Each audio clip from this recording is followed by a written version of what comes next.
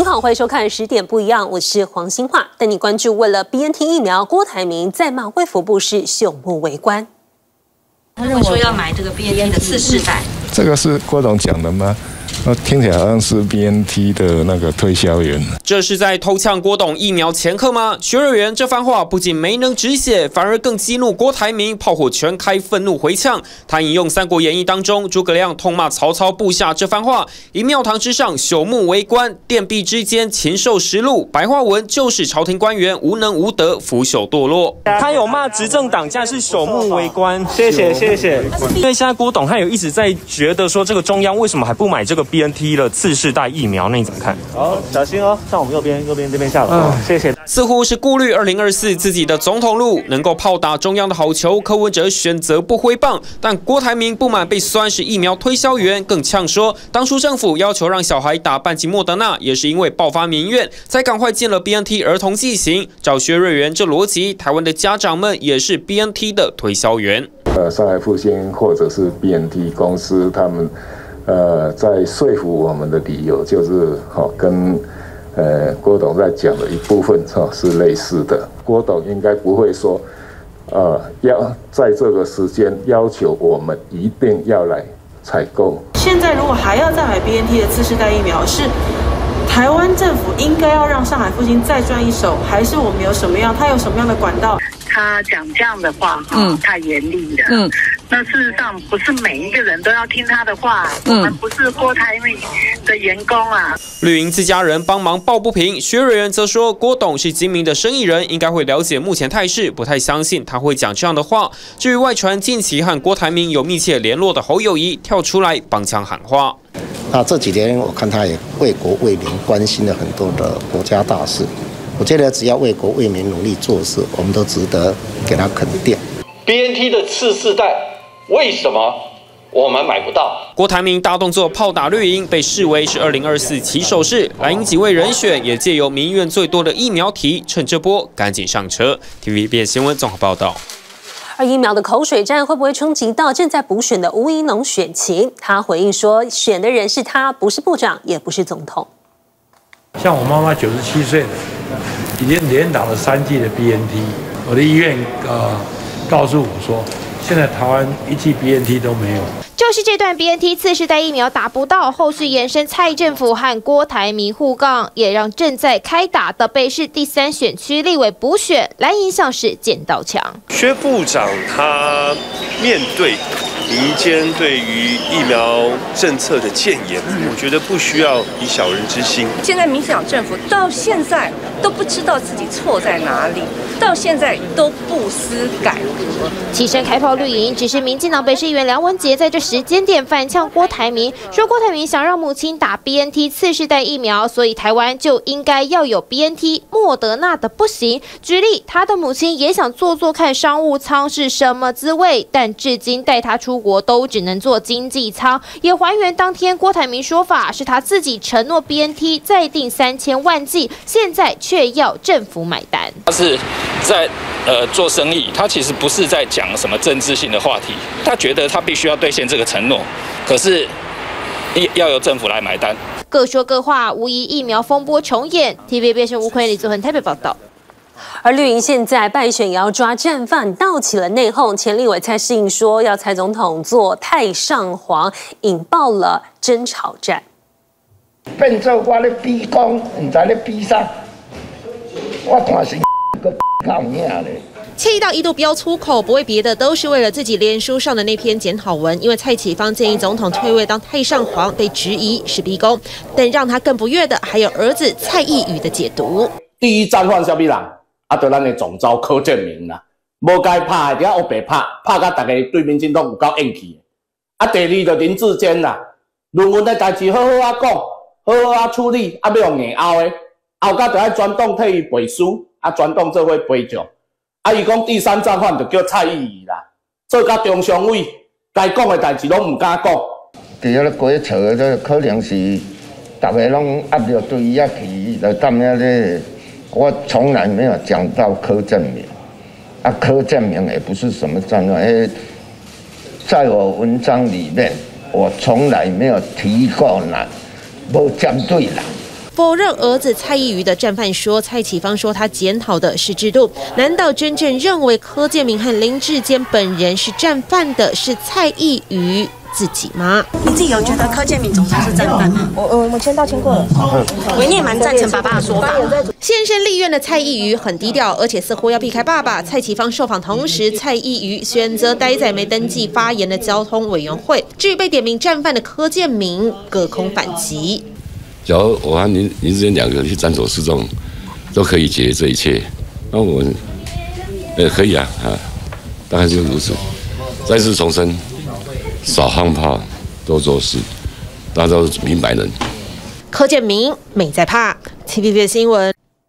耶诞节倒数计时，乌克兰总统泽伦斯基也要出访美国，在华盛顿跟美国总统拜登会晤之前，他也会发表演说。但人还没到美国本土，五角大厦却送上了耶诞礼物，要再度提供十八亿美金的大规模军援。还没开口，就听到远方传来炮声隆隆。乌克兰总统泽伦斯基大胆挺进现在战火最激烈的巴赫姆特，慰劳前线士兵。到尾爆炸声没停过，泽文斯基还从士兵的手中接过一面写了许多字的乌克兰国旗。这时候，泽伦斯基的回答似乎已经先爆雷，自己接下来的行程就是离开基辅，出访美国。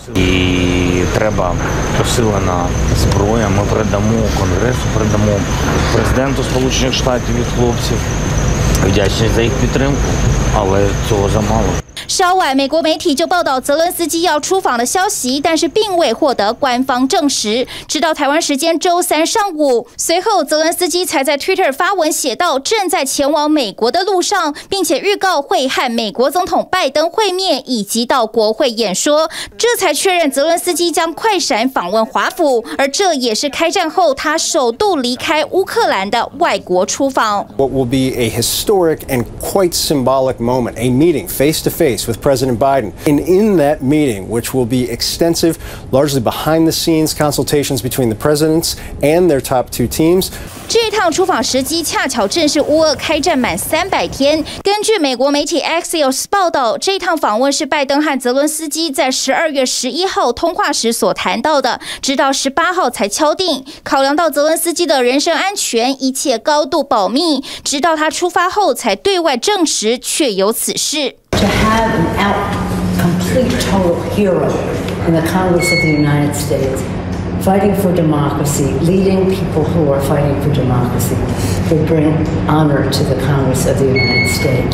而泽文斯基这趟到美国还准备带回野胆大礼。号称世界上最先进的防空系统“爱国者”飞弹，在乌克兰不断开口要求之下，拜登终于点头答应。现在两国同意会在第三国秘密训练乌克兰士兵如何操作这一套系统，还有台湾之前一直想要买的联合直接攻击弹药 JDAM，乌克兰也会拿到。Multiple officials say the U.S. is also expected to send Ukraine precision bomb kits. which turn existing unguided munitions or dumb bombs into precision guided smart bombs known as Joint Direct Attack Munitions or JDAMs. 白宫官员直接呛俄罗斯赶快撤兵，省得兵力、武器、人财两失。I would venture to say that things could be a heck of a lot less complicated for the Russians in Ukraine if they would just get the hell out. 只是就在此时，俄罗斯也大打外交牌。大陆国家主席习近平在北京钓鱼台国宾馆接见了俄罗斯联邦安全会议的副主席梅德韦杰夫。谈到俄乌战争，习近平表示希望双方克制，并且用外交政治手段来解决乌俄冲突，似乎有意让情势降温。而回顾乌俄开战三百天。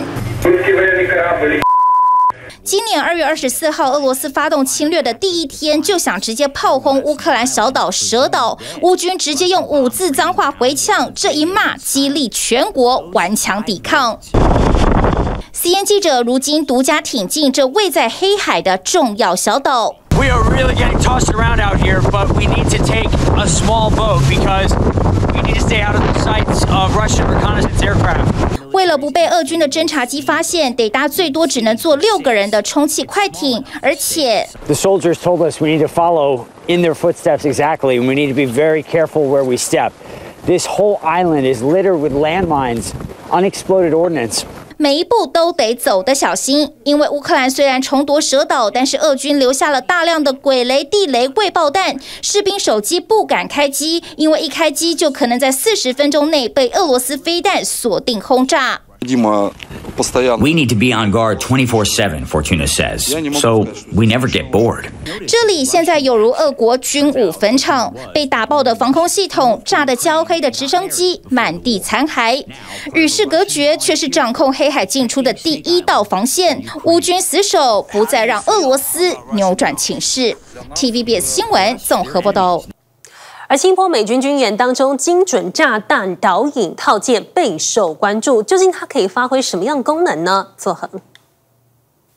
好，俄乌战争发展到现在十个月的时间了，现在美国又说要来加大军援乌克兰的力道，显见这场战争在短期内还是没有办法画下休止符。我们来看到《华盛顿邮报》呢，他就先揭露说，美国这个有消息人士就透露说，要军援乌克兰，联合直接攻击弹药，而且还提到说呢，会让现有的传统弹药变成是精确导引炸弹。另外一部分呢，现在啊，美国也说说是啊，提供乌克兰 J D A N 哦。不过呢，说不用太担心，因为没有局势升级的这样的严重风险。为什么这么说呢？因为说是这个 JDAM 它的射程相对来说是比较短的，比较类似 M 九八二神剑精准导引炮弹。不过相比而言，像是海马斯火箭，它的射程就是比较长的。再加上呢，这款系统他们其实是需要军机来投放的。面对俄罗斯的防空系统，其实使用这一款还是具有相当大的挑战。而这个呢，相关的军援计划呢，说是会在下周三就会来宣布，当中包含的是五角大厦库存十亿美元的武器，另外还有是乌克兰安全援助计划有八亿美元这么多。而乌克兰有美国军援，普京也宣布要部署萨尔马特洲际弹道飞弹，这也是首度在实战上使用。俄国的天然气管线传出爆炸，战火显然是有增无减。三天两头就公布军演片，俄罗斯为了强调自己没被孤立，继续找来白俄大秀军事肌肉。才访问完白俄的普京，一回国又大张旗鼓办颁奖典礼，表扬四个占领区的亲俄领导。普京随后在演说中坦诚，这四个地方确实情况艰难。Да, вам сейчас трудно.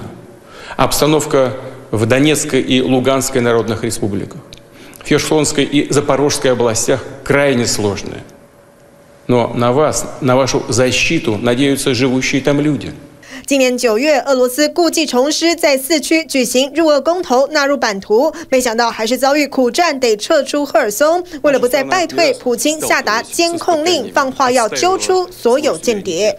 Надо жестко пресекать действия зарубежных спецслужб, оперативно выявлять предателей, шпионов и диверсантов. Должна быть усилена работа по линии пограничной службы ФСБ. But this is also providing cover, I think, for another hallmark of this conflict, which is repression at home. It provides an excuse to sort of step up surveillance of citizens. 到底现在的普京怎么想？他的前首席经济顾问这样说 He himself, he considered himself as a messiah.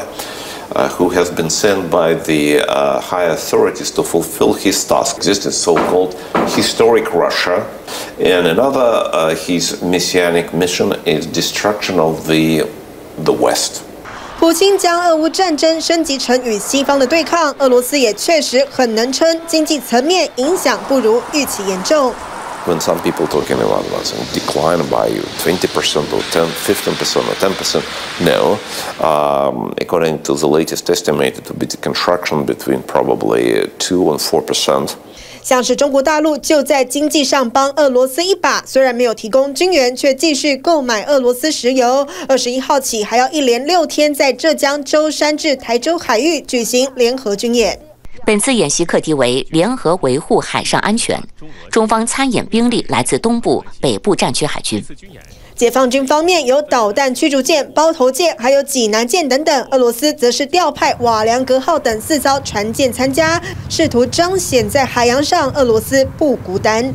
These exercises will include, for example, Russia's Pacific Fleet flagship, but the Black Sea Fleet's flagship that was sunk. The Russians may be trying to demonstrate that they can fight a war where they're taking immense losses and still operate in a place like the Pacific Ocean.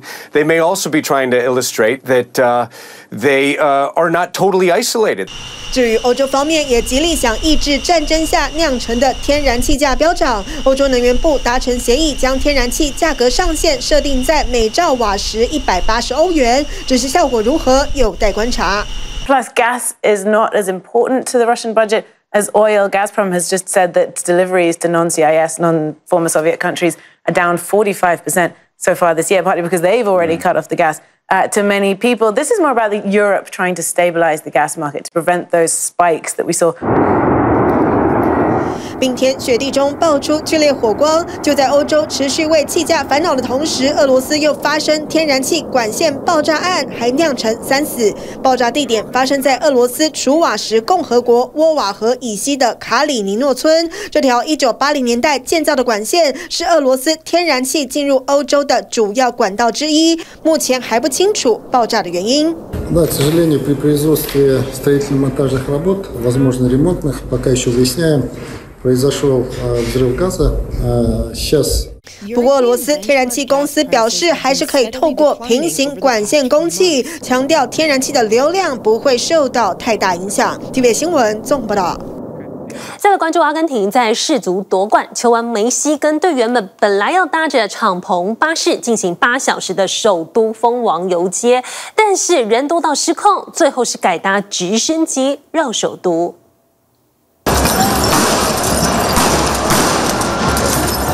武装警察边跑边发射橡胶子弹，另一边水炮车出动，大批军警摆出盾牌阵，和失控民众紧张对峙。地上瓶罐一捡就丢，甚至有人强拆商家铁门硬闯。阿根廷首都布宜诺斯艾利斯方尖碑广场完全失序，球迷嗨过了头，因为就在几个小时前。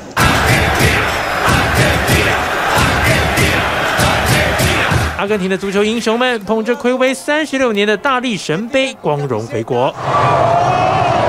周二胜利游行，全国放假一天，球员们在露天胜利巴士上穿白色 T 恤，脖子挂金牌。今天轮到决赛攻进一球的迪玛利亚抱大力神杯，梅西则把国旗当围巾，手上忙着拿饮料，享受夹道欢迎。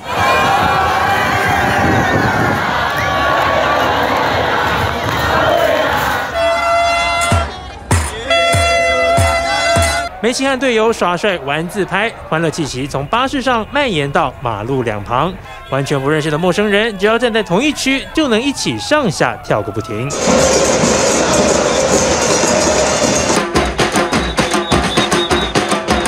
大家从周日决赛后狂欢就没停过。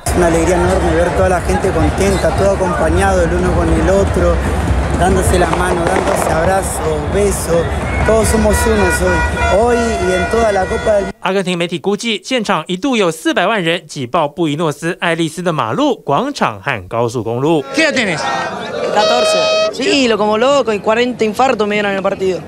不止跨越年龄、距离、国籍都不是问题。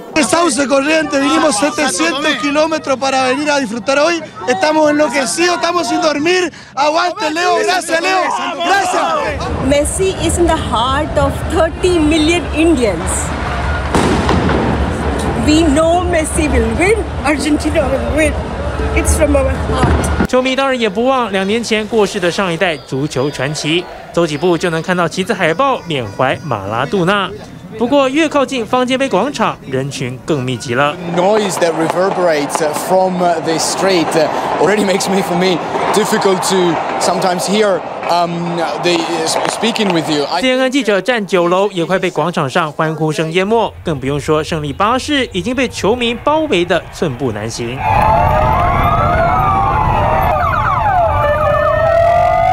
几十名黑衣维安人员冲上前护驾，因为大家为了一睹梅西这帮球星的风采，连天桥、路灯都敢冒险攀爬，甚至还有疯狂球迷从天桥一跃而下，跳上车。眼看场面越来越失控，车队根本没办法照原定计划抵达方尖碑。只好出动直升机，把球员们载到广场上空盘旋，感谢球迷支持。Those who will be lucky enough to be very close to the to the bus itself will be able to see their idols. But for the tens of thousands, hundreds of thousands of people that have been uh, packing here since the early hours of today, Tuesday, it will probably be just a amazing street party yet again. 就在胜利游行后，梅西马上搭机回家乡罗萨里奥，一样受到英雄式欢迎。Acá cuando era pequeñito fue el primer campo de juego donde Lionel Messi empezó a jugar a la pelota. 从罗萨里奥到布宜诺斯艾利斯，阿根廷全国上下弥漫欢乐和狂喜。Es único la manera de llorar. Ya me lloré todo hoy a la mañana, ayer, antes de ayer. Ya no puedo llorar más. Es increíble, ¿no? 等了三十六个年头，再尝夺冠滋味，整个阿根廷终于也不用再为兵败士卒而哭泣。TVBS 新闻综合报道。而这冠军得来不易，梅西赢到了这金杯，开心着拥抱入睡，照片也曝光了，交给作恒。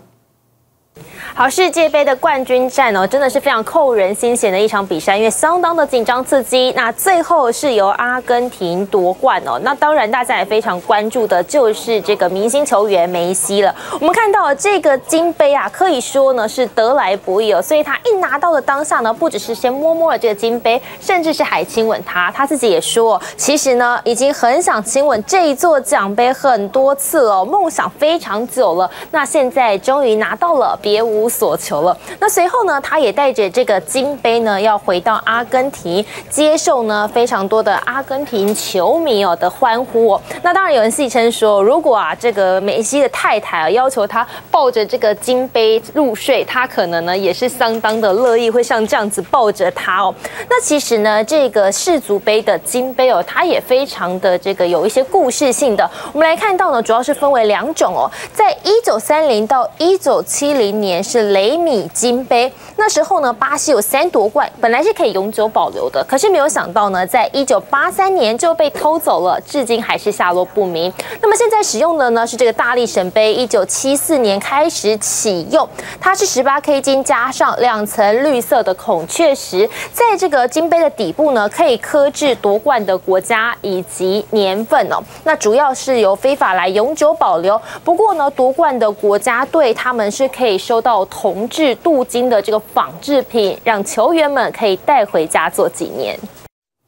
我值得关注的是，社群上出现大量谢谢梅西的 po 文，感念他拼搏精神。因为梅西真的不容易，克服了侏儒症、坚持还有忠诚的人格特质，让他在球迷心中都有一席之地。阿根廷首都布宜诺斯艾利斯瘫痪了，因为举国上下等了三十六年，终于见证由梅西率领的国家队在世界杯赛场上拿到久违的冠军金杯。满坑满谷的球迷挥舞国旗，聚集在道路两旁，迎接球员凯旋而归。尽管有警车开道，仍旧挡不住热情的阿根廷民众想要亲眼目睹英雄们的风采。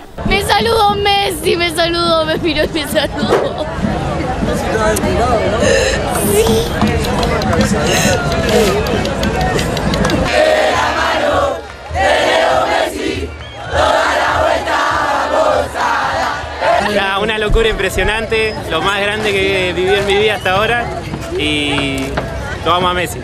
Vamos a Argentina y vamos. Argentina, loco, quiero darle gracias a Messi esta, esta,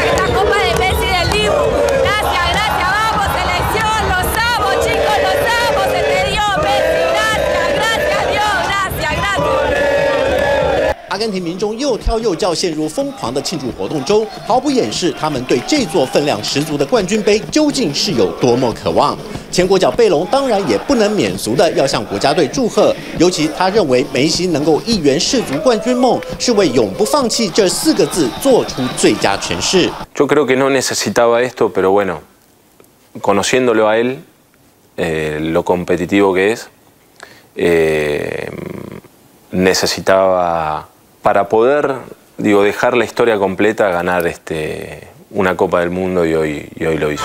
Me pareció, la verdad, la rompieron los muchachos, dieron todo de sí y salimos campeón porque se lo merecía Messi. Bien ahí, aguante Messi, loco. 不但有来自于前辈和广大球迷的肯定，就连梅西故乡的民众也对这位小时候曾经不被看好的足坛天王印象深刻。 Campo de juego donde Lionel Messi empezó a jugar a la pelota. Estudió y a pesar, bueno, además de estudiar, jugó al fútbol para perfeccionarse y ser lo que es hoy. Eh, pero sí, sí, los chicos obviamente aman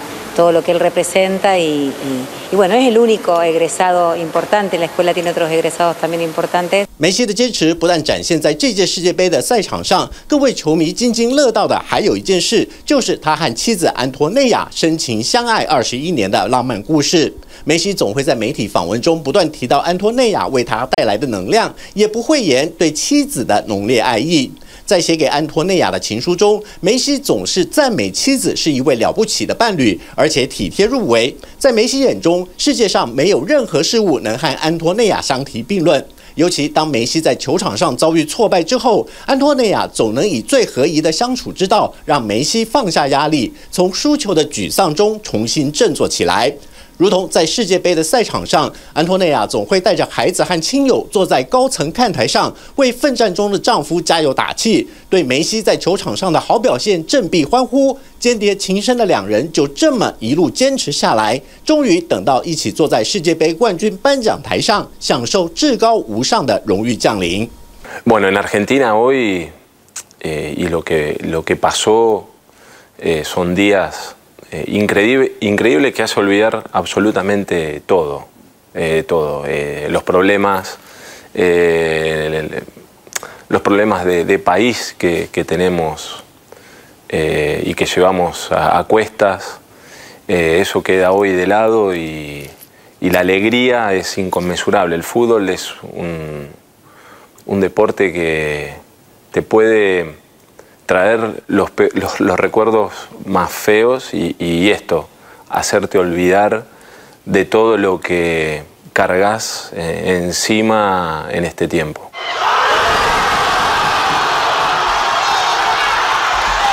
梅西在这次世界杯上以行动诠释了永不放弃的意义，不但为球员生涯的荣誉补齐了缺席十六年的最后一块拼图，也说明了在现实生活中，或许追梦圆梦是如此的遥不可及，但是只要愿意尝试，凡事都有可能。TVBS 新闻综合报道。想扩大国际视野，掌握趋势，请订阅专门报道国际新闻的 YouTube 频道 TVBS 国际 Plus，记得要开启小铃铛哦。